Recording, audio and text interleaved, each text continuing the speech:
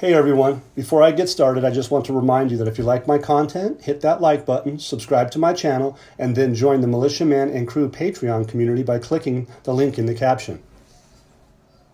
Hey, good evening everybody, Militiaman and Crew here. I hope everybody's doing a wonderful day. Um, today's been one of those busy, busy uh, work days for most everybody, but hey, here we go.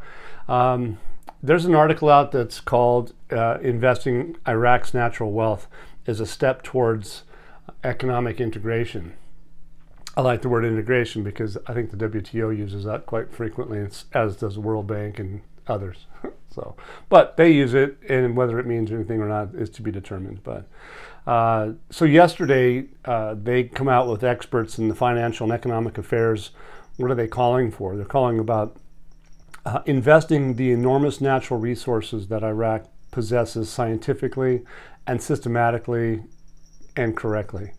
And what they're saying is it will con contribute to removing the country from the spiral of the one way rent, which is one way rent is oil only. And if you guys remember back when uh, the Saddam Hussein era was concerned, um, oil was about 35 bucks a barrel. Uh, today it's somewhere over 80. And uh, they were at $3.22 back then. So just keep that in mind. Uh, I'm not giving a rate or a date or anything like that, but I just, it, perspective is important. Um, they go on to say that, that it's a one-way rent. So, and what have we been talking about? Well, they've been wanting to move towards um, non-oil um, assets, and we know that because of the ASYCUDA system they put it into place. Uh, that's going to be taxes and tariffs, customs at the borders. Uh, we know that they have uh, a massive amount of natural resources, and we're going to go over that. Uh, so Mohammed Saleh, yesterday, he's, he's, an advisor to the Prime Minister uh, al-Sudani. He's basically stating that the global economic community estimates as a stock capital at a prevailing price for today, Iraq's worth about 16 to 17 trillion US dollars. Okay, and that sounds like a number. It's 16 to 17 trillion, big deal. Well, I think you, if you understand what one trillion actually equates to, you'll get the picture. It's it's a lot. the interesting thing is going to be too is that pay, pay attention to this part is that Iraq is going to be doing um, potentially getting both sides of the equation uh, instead of having people come in and mine it, take it away and, and produce it and sell it. Iraq's going to mine it, produce it, and sell it. So they're going to get both sides of the equation. And what that does is, that raises the income stream for Iraq. And we have some really bright people in Patreon, and we have some really bright people in our forum, and um, and I also Discord, our Discord militiaman chat room, um, that have experience and know that um, the accounting side of things um, Iraq is really uh, in a position to be able to support uh, more than they had during that era of that previous era. So when they say they're going to go back to a previous era, it's not a bad era because it, the price is, is nice, especially for investors at this stage of the game. So, but keep that in mind too, because they have the natural resources. It says uh, the reports of the Geological Survey, which is renowned globally, uh, those survey experts in Iraq confirm that the country has the first reserves in the world of, sur- of sulfur. Sorry, um, they have the largest deposit on the planet in sulfur.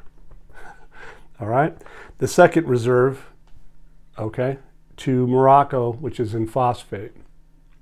So just those two items, besides oil, are, are massive because of, of what they have in the ground.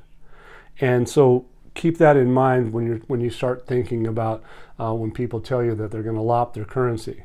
And then remember that they have uh, decreased their inflation from 7% to 4%. So when those people that suggest that they're going to lop the currency, um, ask them about that how is it that a country that's worth 16 to 17 trillion with no inflation going to lop their currency and that would be allowed by the IMF, the Bank of International Settlements, and uh, the WTO effectively because they're going to be part of that in the future. Uh, the United States Treasury, for instance, why would they be able to just erase the value of the currencies when the U.S. Treasury holds, let's say, seven, nine, ten trillion dinar? You got to ask them that question. I don't need to answer the questions because these, this is what's in the news. This is what's reality. Um, and some of the brightest minds, I think, in the world um, that happen to be investors in the Iraqi dinar support what I'm talking about. And we can see uh, that, that there's been like two drafts in the economic reform law and the natural resources investment law, which constitutes Iraq's next strategy to generate the investment partnership with the private sector. So if you think about it for a second, that right there is that why in the world would anybody want to invest into Iraq if they were going to put their money into Iraq and then they were going to lose? Because if you invest your money in Iraq and they lop their currency, you're not going to make any money. There's no value in it. It's a neutral event. So, anyway, moving on. According to the uh, the wide production chains that go beyond the extraction, which I talked about, uh, mining, and export, okay, they say that the extraction outputs go to the manufacture of raw materials themselves as inputs. So they're going to, like I said, they're going to get both, both sides of the coin, which are chains that will undoubtedly generate added value and predominant value to them, right? Okay, so in, in essence, what I'll read to you is again is that the article basically states that Saleh, okay, the guy's renowned, he says, with the exception of the investment currently underway in oil and gas wealth, the Iraqi economy has the opportunity to exploit those minerals and other natural resources. He's noting that the two draft economic reform law, natural resources investment law, constitutes Iraq's next strategy to generate the investment partnerships with the private sector according to a wide production chain, chain that goes beyond the extraction and the export paragraphs so that the extraction outputs go to the manufacture of raw materials themselves as inputs, which are change that will undoubtedly generate added value and predominant value. and in they're in, they're in the process of, of working this out. They have the legislative, executive portions sorted, and those laws are done. So we don't we're not waiting for that anymore. We didn't have that in the past. So now's the time that we're going to see some some differences. And so they go on to say that their policies and investments, um, developments require patterns of investments, rates of production, annual national income, which is going to be the basis of which is certainly the investment and productivity partnership with the state and the private sector. So the private sector and the um, state have partnerships, and that's going to create the value. Look, the specialized interna- international economic website, St- um, Statista, publishes a report on natural resources owned by countries of the world. Iraq comes in ninth globally it says that ha- they have about 15.9 trillion in natural resources. 16 17 okay whatever it is 15 16 bottom line is they, get, they have a lot of in-ground wealth. He says iraq has a lot of important natural resources expensive min- minerals materials such as sulfur and mercury addition to the gas that they have coal and others. When i say gas remember we're going to talk about a few other things that we've been mentioning and when it comes to the United States having um, their uh, foothold in Iraq, it's going to be big. and they're not going anywhere. So he goes on to say that uh, Iraq um, has left that Dutch budge, if you will. Uh, that's a whole different uh, sidebar, but the fact is, is that it is a uh, the Dutch syndrome is actually a thing in economics, and if you guys want to look it up, you should. Um, it says, in addition to the possibility of achieving a significant increase in its financial incomes, that would raise the purchasing power of the Iraqi individual. To me, that's massive because that's what they're telling us. They're talking about raising the purchasing power of the Iraqi dinar. Well, how do you raise the purchasing power of the Iraqi dinar without um, changing the exchange rate? Obviously, the answer to that question is I think you all know it. They can't. Um, they go on to say that uh, uh, since 2023, they've had devices, equipment capable of extracting those wealth buried in the ground, but it couldn't contract with major international companies specialized in this regard to order achieve a qualitative leap in the economic and event, even industrial fields. But yet, with this mass measure, it has moved away even partially from relying on oil rents. So, in other words, weird translation, but what they're saying is is that now is the time that they can move away from just the oil because they have all these assets. They have all of these assets, which is going to be a phenomenal situation. Look, they're going to work to the manufacturer of product, products themselves. They're going to do this on their own. So they're going to export that. It's going to expand their wealth even further. Uh, they will be doing exactly what they said they were going to be doing and bring purchasing power to their citizens, by extension to investors of the Iraqi dinar. That's going to be us. That's how I see it. The dinar will be stronger than the dollar, just as al Sudani has stated numerous times. Uh, more than once, he has stated that, hey, hold your dinar. And so, here again, why did he say all that? Because he knew all this stuff. The man's been on a tear since he got into office back in October of 2022.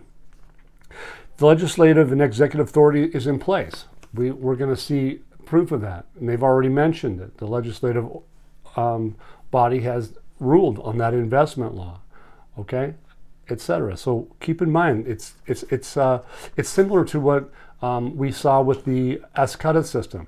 It's irreversible.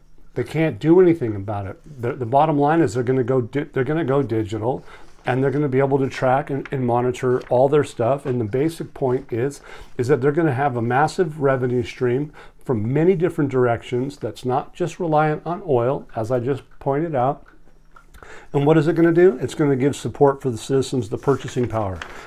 There's going to be another person that's going to come out on the, onto the stage um, in this tonight and that is going to be um, on the same on the same measure we just mentioned.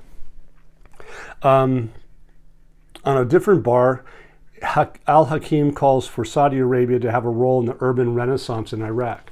Well, why is there going to be an urban renaissance in Iraq if it's just going to be status quo and at 1310 uh, exchange rate? Why would that be? It wouldn't. Um, they're basically calling for Saudi Arabia to have a role in the urban renaissance in Iraq. What is a renaissance? It, a renaissance is a rebuild, bring new, old to new. And uh, that's what they're doing. It says during the visit of Kingdom of Saudi Arabia, we met with the crown prince of the sisterly kingdom of Arabia, his high prince Mohammed bin Salman, and we exchanged views on developments in the political scene in Iraq and the region and ways to strengthen relations between the two countries. So they go on to say Iraq's stability has had a positive impact on the security and safety of the region.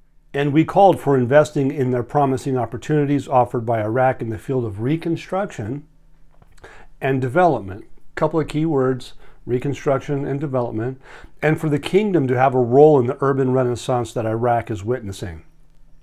Okay, what do I get from it? The positivity of having security and stability now is paving the way for the urban renaissance. Saudi Arabia is going to be investing in the promising opportunities Iraq has in the fields of reconstruction and development. The timing couldn't be any better, as you can see it. They, they helped with all that work for the WTO, which is effectively kind of quiet on certain things. Well, so maybe that's the way they do things. Like I said in the past, some some things are better left unsaid because it can cause shocks to markets. And who talked about shocks to market? The World Bank did, and we we've, we've talked about that in our videos. So if you guys are seeing how you know kind of exciting this is, uh, what they're talking about, the valuation of this country is massive. The, the whole picture we're going to paint is, is a theory and the theme, more of a theme as opposed to a theory of Iraq can support previous era exchange rate, probably quite easily, and then some. So anyway, it says this this article is the secret of the dollar's decline in the parallel market lost its customers and demand for the platform increased fourfold.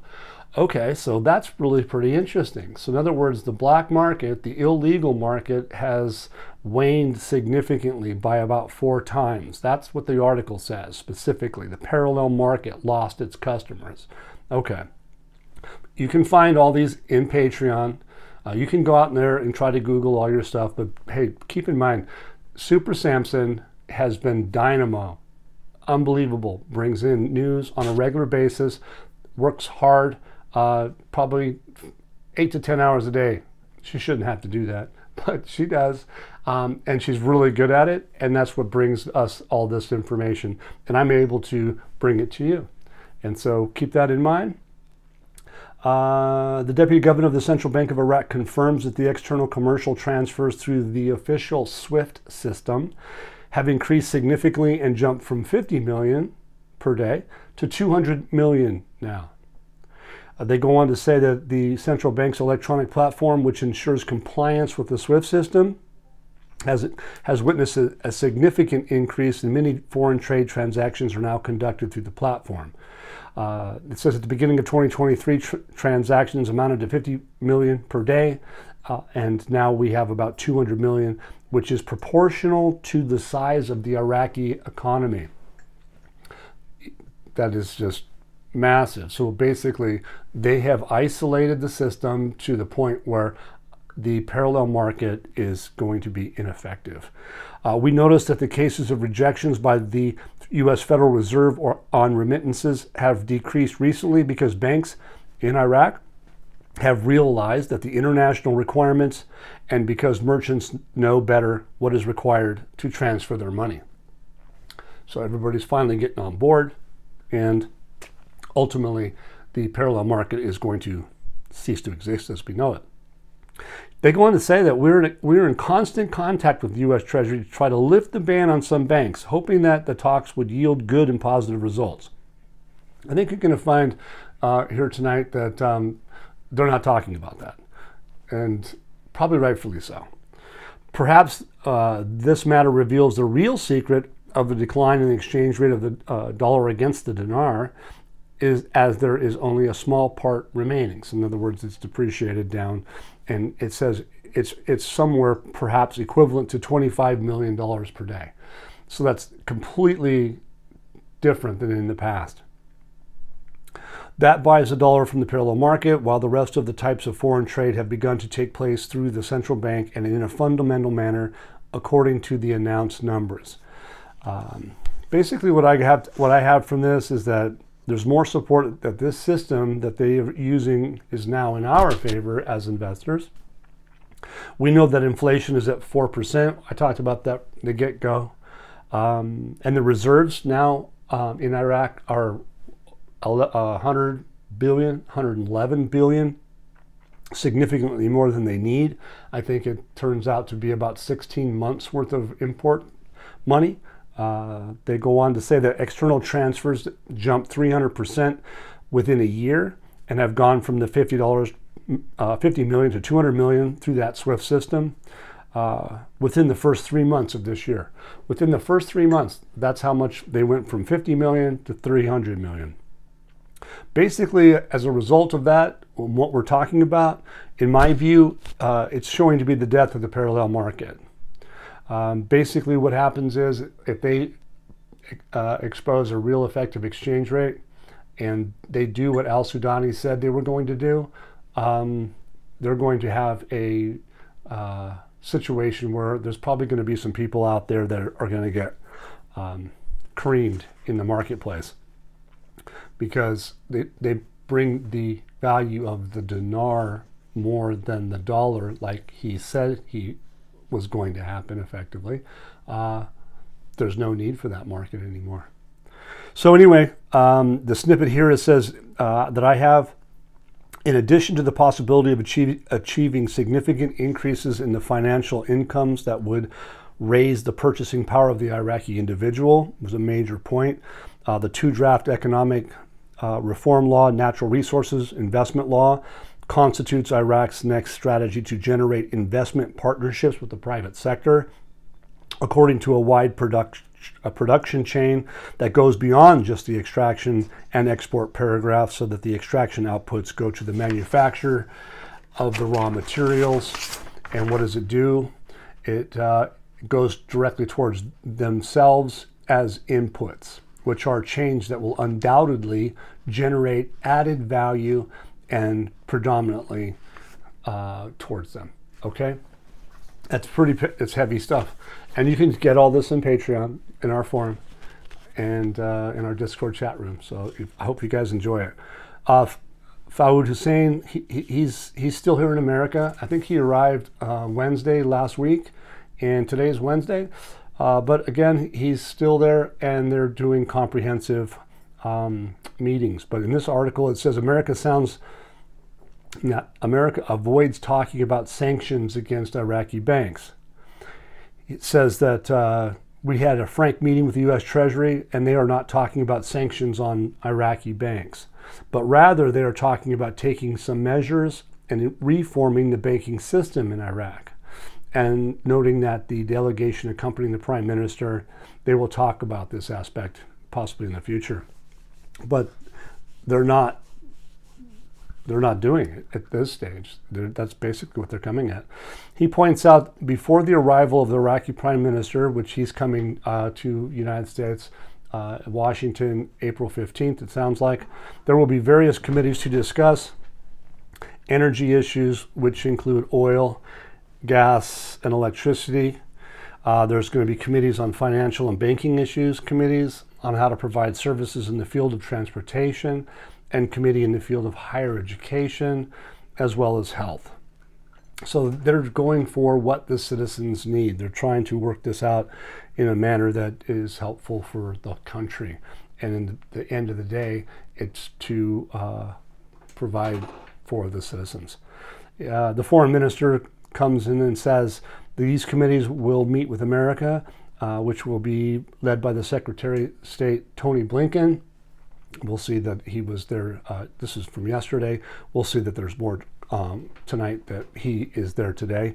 The Minister of Foreign Affairs is noting that preparations for the Prime Minister's meeting on all these topics that I just mentioned will be relevant uh, coming up when the Prime Minister meets in Washington on or around uh, the 15th. They say the 15th. They say the 15th, um, and I saw take them for what they're what they say. Uh, Parliamentary Finance Budget Table arrives before the Eid holiday. That's another article that we have. This came out yesterday. Really quickly, the 2024 budget schedules have not yet arrived from the government, even though we are in the month of March, and they were supposed to be there and, and sent by the end of last year, but they didn't. And they're telling us now that the Ministry of Finance has completed the proposed amendments to the budget. Uh, the Ministry of Planning has completed the investment budget, and now the tables are in the body of advisors, advisors of the Prime Minister's office and have been presented to the Prime Minister, expecting that the amendments of the 2024 budget will reach the House of Representatives before Eid al Fitr. And so you'll find that um, there's more on that topic. It says on March 13th, the Ministry of Finance announced the completion date, the completion data related to the 2024 budget schedules, the inclusions of texts, and sending them to the Council of Ministers. So the Ministry of Finance finished their job. The Council of Ministers apparently has, we're going to find that they finished their job, and the next step would be to go to the House of Representatives. And it sounds like the House of Representatives might be, uh, as of today, tomorrow, and or the next day, um, be on break of session, but when they come back, um, the thought process there is is that they are going to have the um, texts and the uh, schedules waiting for them. So exciting times because uh, it's not likely that they're going to give the House of Representatives the real effective exchange rate without having uh, prepared for that. Okay.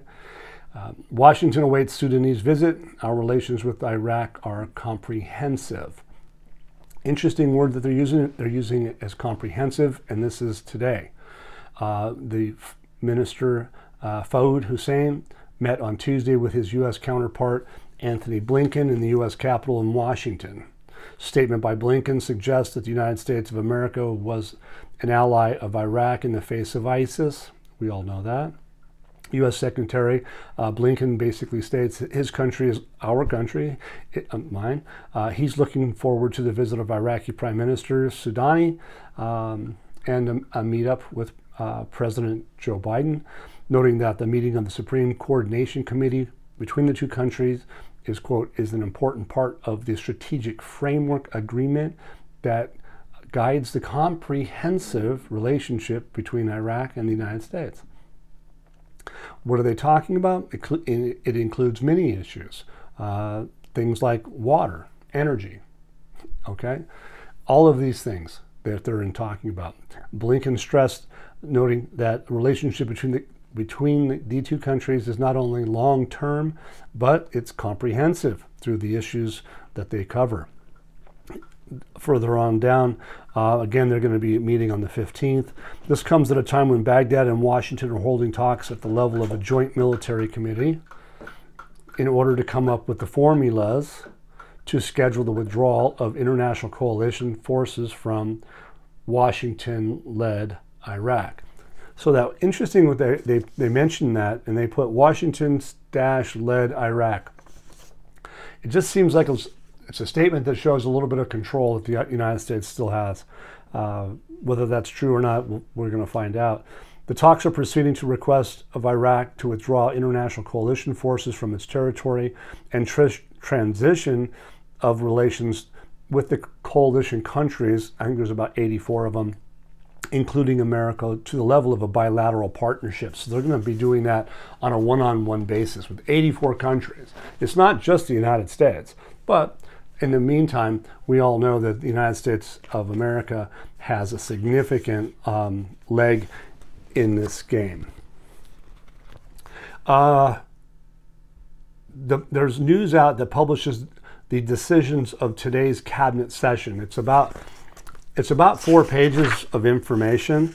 Uh, Samson brought this in, and uh, again, the dynamo that she is, she makes sure that we uh, don't over over overlook anything. And uh, I'm going to try to get to it really quickly because it's I'm not going I'm only going to do a couple of bits and pieces, and they're going to be bullet points. So publishes the decisions of today's cabinet session. So these are the this is Al Sudani's cabinet session. It says, according to a statement, the Council of Ministers approved the Eid al-Fitr holiday starting from Tuesday, April 9th, 2024, until Saturday, April 13th, provided that the official working hours in all government institutions will resume on Sunday, April 14th. So April 14th, they'll be working. Council also voted, according to the statement, to consider March 31st and the 1st of 2024 of April as an official holiday for members of the Christian community on the occasion of their celebration of the resurrection.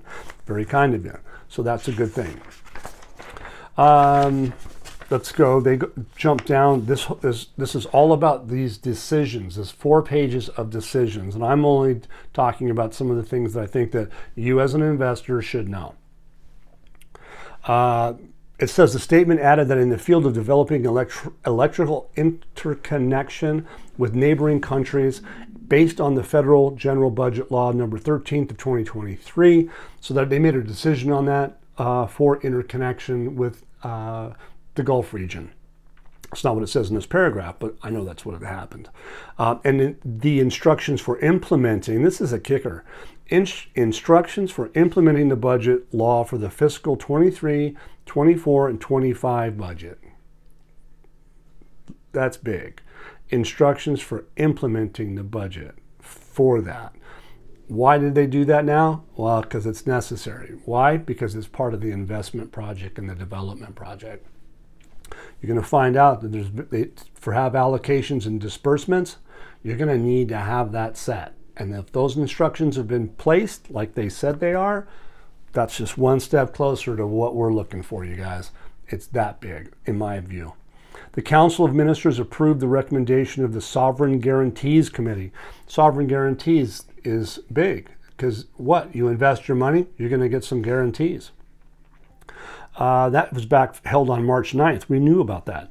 The recommendation of the Ministerial Council for Energy 240022 for the year of 2024 regarding the electrical interconnection between the government of the Republic of Iraq and the electric electrical interconnection authority of the Gulf Cooperation Council countries according to the following. And they give four steps.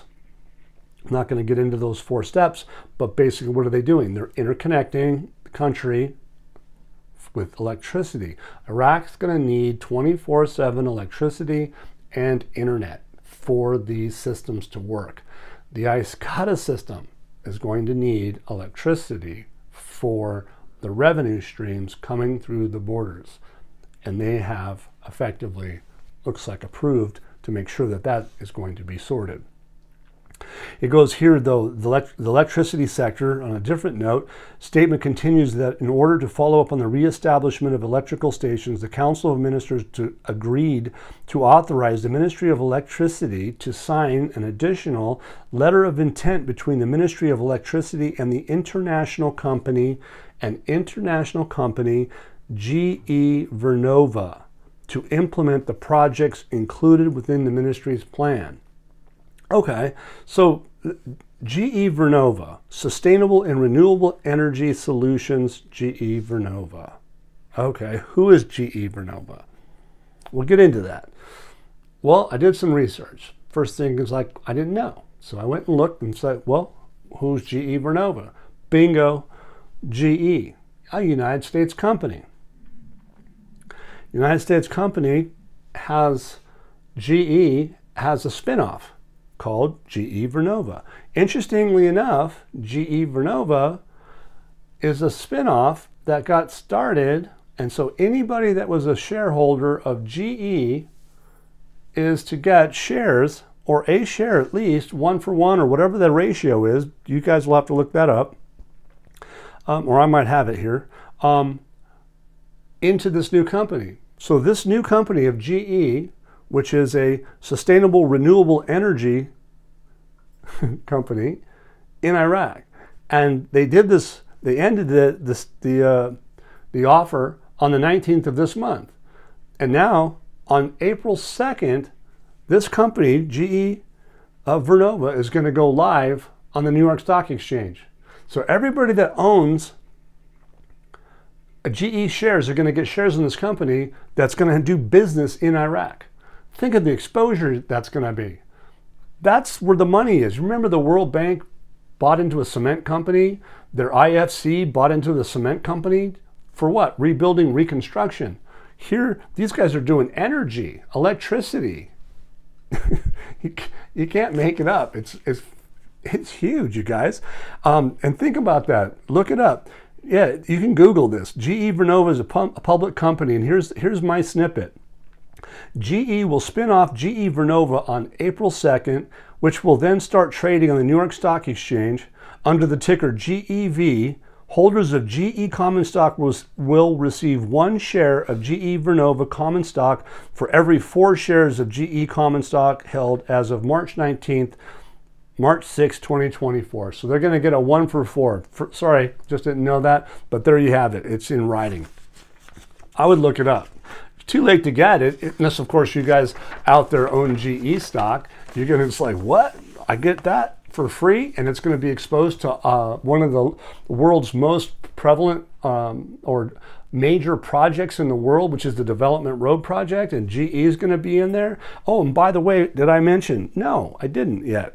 Uh, the statement continues in, in a different manner the field of optimal investment of oil wealth and associated gas the Council of Ministers agreed today to authorize the Ministry of Oil to sign a memorandum of understanding of tr- strategic cooperation with American company Honeywell to invest in gas and reduce flaring to a minimum and to benefit from engineering expertise in the field of developing refineries, glax, excuse me, gas exploitation and petrochemicals.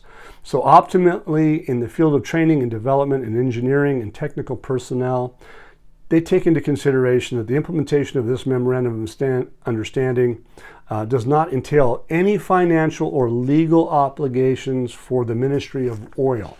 So it's all on our American companies. It's unbelievable, cool stuff. And the, the next thing is they're going to increase monies for water. What do they need to run the country? Is they need electricity and water. So I would highly suggest that everybody that hasn't had a chance to do that, uh, come into our Patreon room, look up, uh, publishes the decisions of today's cabinet session, and you'll be able to see exactly what I just told you. It's, uh, it's really cool stuff. The government parliamentary agreement to support the budget, revenues, and government allocations for investment projects. So the Strategic Planning and Federal Parliamentary Service Committee uh, ended its joint meeting today with the Minister of Finance, Taif Sami. You know, she was doing inspections on real estate with the Rafidain Bank and the Reconstruction Bank in, in England. Um, she comes back and she hits the ground running. Uh, so today, by discussing the ministry's plan to implement the government program, which we know Al Sudani has been hammering home, to support the diversification of general budget revenues and implement projects, and to facilitate the release of government allocations in the investment and development budget of the regions. So what are they talking about? Here we go. It sure looks like they're finally gearing to go live with the 2023, 2024, 2025 budget. They're talking release of the allocations while implementing the government program. To me, this is big. Taif Sami just got home from the UK, as I just mentioned. Uh, hard work back at it. Release allocations for the investment and development budgets for the regions. Uh, we haven't seen them pay the salaries out of the budget yet, have we? but we're going to. I'm pretty sure we are. Uh, Parliamentary Committee, noticeable change in the exchange rate in the local markets.